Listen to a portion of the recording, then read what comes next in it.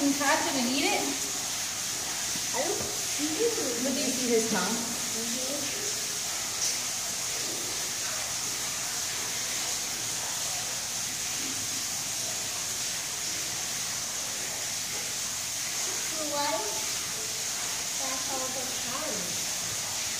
Well, it, it's literally a part of his tongue.